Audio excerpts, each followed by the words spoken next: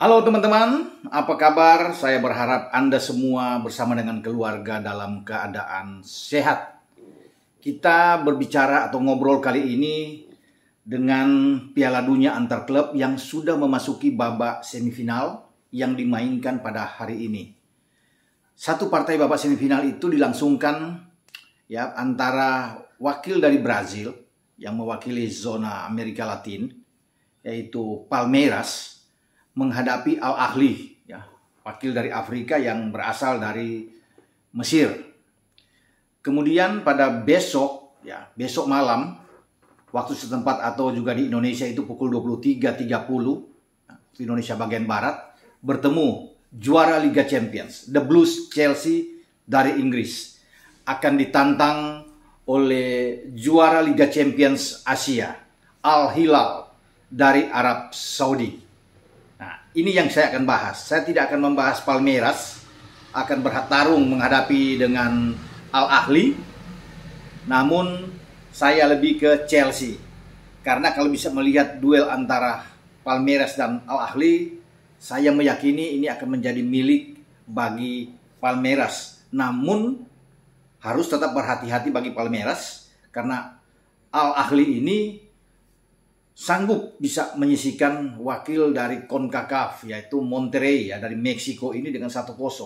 Padahal kalau bisa melihat dari uh, head to head ya kedalaman juga skuad Monterrey ini sebenarnya jauh lebih bagus dari Al Ahli. Namun inilah sepak bola yang selalu bisa terjadi di luar dugaan dan Al Ahli menyingkirkan Monterrey. Jadi perkiraan sebelumnya bahwa Monterrey yang akan menantang Palmeiras sekarang ada Al Ahli.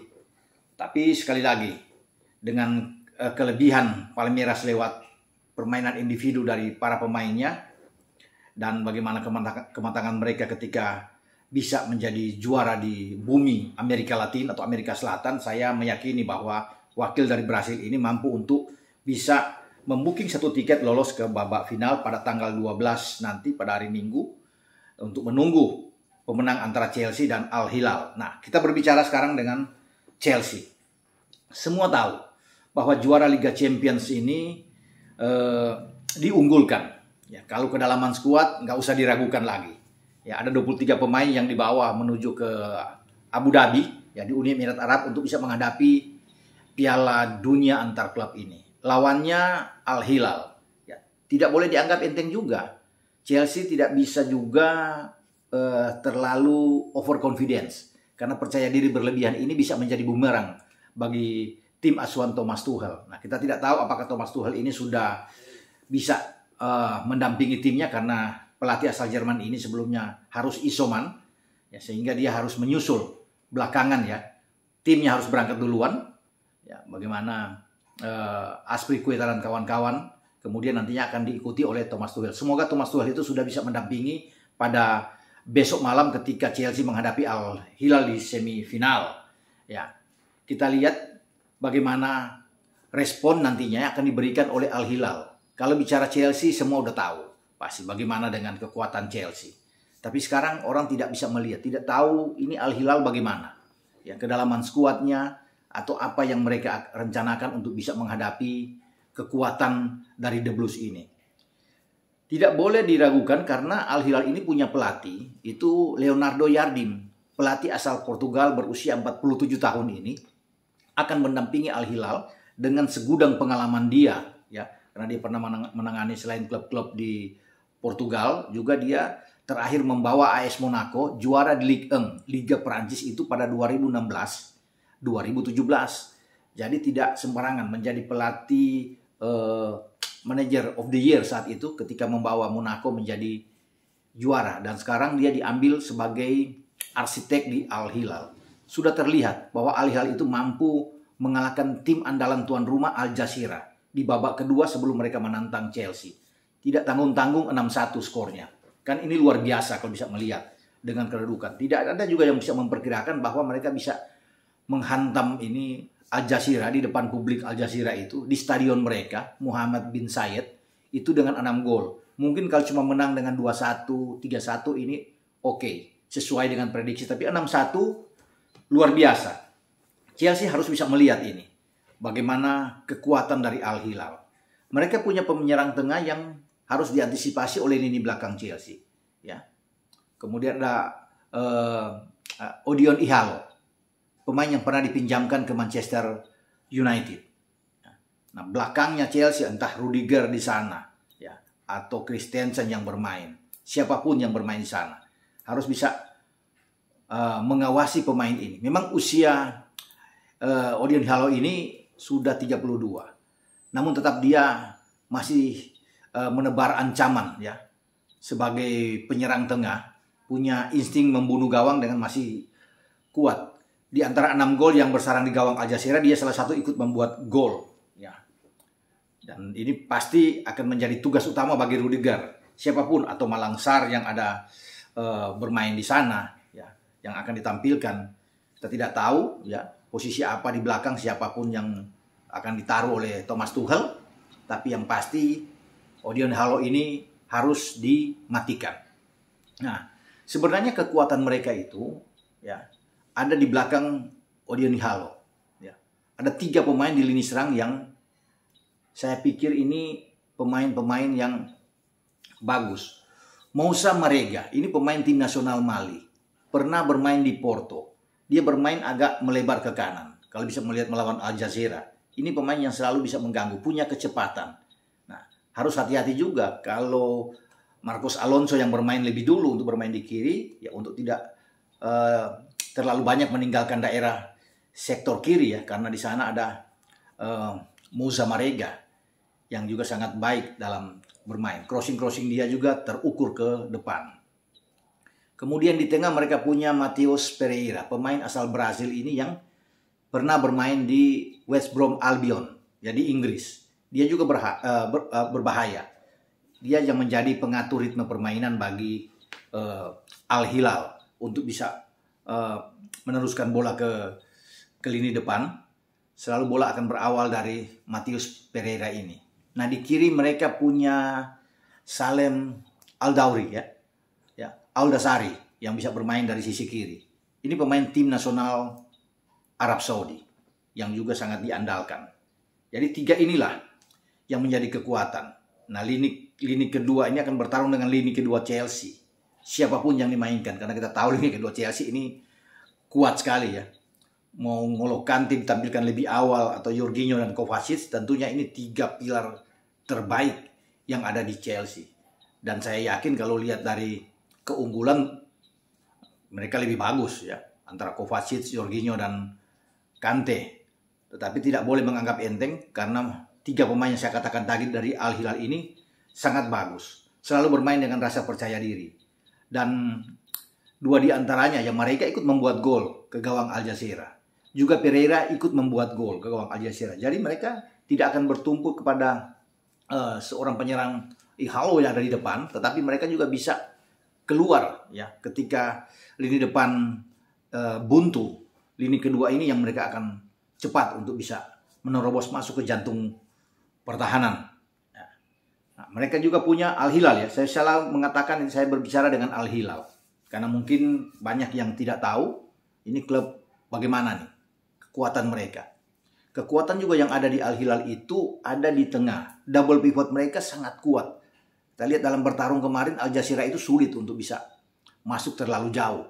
Karena selalu sebelum bola menembus masuk ke jantung pertahanan Al Hilal selalu harus bisa melewati dua pemain ini double pivot mereka yang menjadi jembatan yang paling kuat ya untuk bermain dengan box to box juga.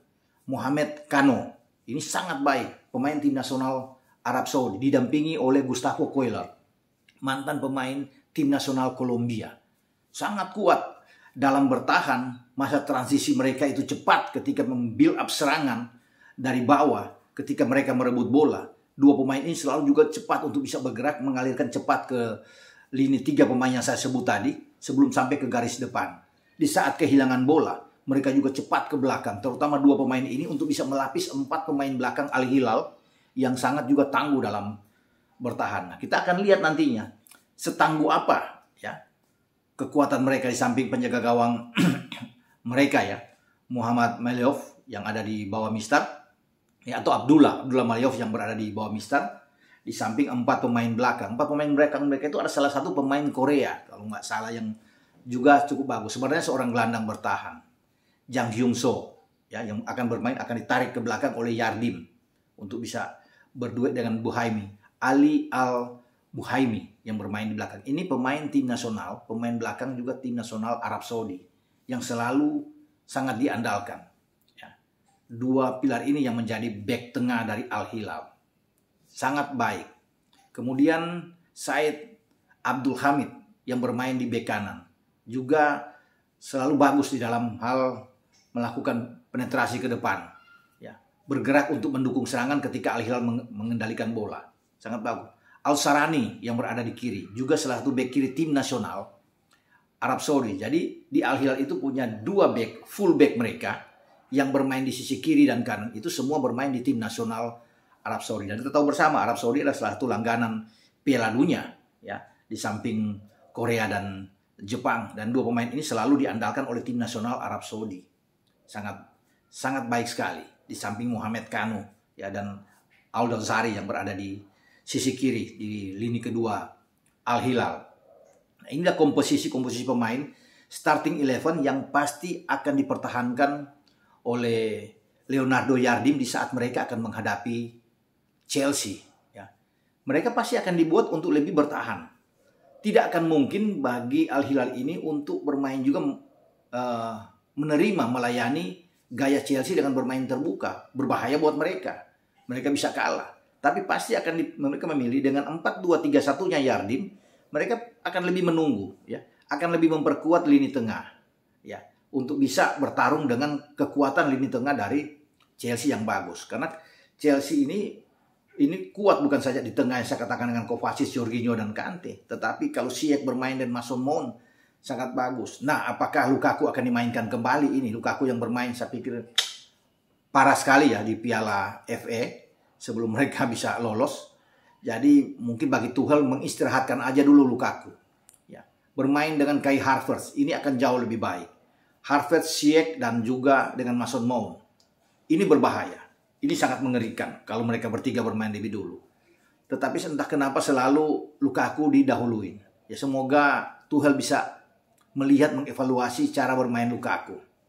Ya, ketika melawan Plymouth sudah membuat hanya membuat dua tembakan dalam 120 menit kan ini ini hancur benar pemain dengan label 1,8 triliun tetapi justru pemain-pemain belakang Chelsea lawan Plymouth lebih banyak menembak dibandingkan dengan Lukaku. Tidak mendapatkan peluang manis satu kali pun untuk bisa menerobos masuk ke kotak penalti lawan. Padahal lawan adalah kasta ketiga di Inggris, Plymouth.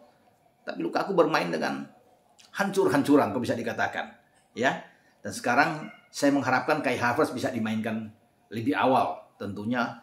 Tapi semua tergantung kepada Tuchel sih kalau bisa melihatnya. Kita boleh berharap dengan Havertz kemudian dengan Ziyech dan Mon tapi tiba-tiba Lukaku yang bermain. Nah, ini kita tidak tahu. Sebenarnya dengan Lukaku juga kalau bermain melawan Al Hilal, Chelsea masih bisa menang. Chelsea masih bisa lolos, ya. Tetapi kita akan menunggu. Saya akan tertarik melihat bagaimana Yardim pelatih Al Hilal ini bisa menerapkan taktik yang bagus yang untuk bisa mencegah, bisa menghadang Chelsea. Nah itu saya katakan tadi dengan lima gelandang mereka sangat kuat. Ada dua double pivot tapi ditambah dengan tiga gelandang serang mereka yang selalu ke belakang. Ini akan membentuk bahwa mereka akan bermain bisa saja ketika ditekan dengan terjadi pola yang berubah. Ya 4 5 1 yang bisa terjadi sana. Dan ini wajar tidak salah bagi Al Hilal karena Chelsea menjadi lawan mereka. Ya, akan sangat seru kalau Al Hilal ini bisa mencetak gol lebih dulu. Tentunya Chelsea akan panas akan tergerak sehingga akan terjadi jual beli serangan.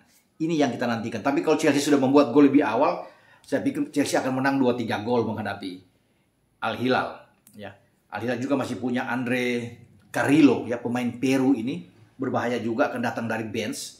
Dan dia kemarin juga memang begitu ditarik dimasukin oleh Yardim untuk bermain di babak kedua. Carrillo ini juga bisa bermain sebagai attacking midfielder dan bisa dimanfaatkan sebagai orang penyerang lubang yang ada di belakang Ihalo. Jadi ini pemain yang disiapkan oleh Yardim ketika ada kebuntuan di lini depan dan Carrillo akan masuk. Kita akan saksikan bersama siapa yang akan memenangkan pertandingan tapi tetap saya akan mengunggulkan tentunya The Blues Chelsea untuk bisa melaju ke babak final untuk bisa berhadapan dengan Palmeiras ya asal Palmeiras bisa mampu mengatasi Al Ahly ya kita akan lihat nantinya untuk babak final pada tanggal 12 tapi sebelumnya kita akan tunggu duel Chelsea dan Al Hilal di Stadion Muhammad bin Zayed di Abu Dhabi pada besok malam. Sampai di sini pembicaraan kita. Ciao.